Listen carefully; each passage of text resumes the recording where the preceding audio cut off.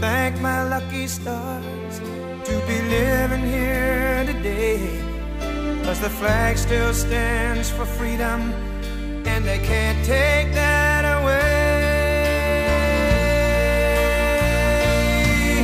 And I'm proud to be an American, where at least I know I'm free. And I won't forget the men who died,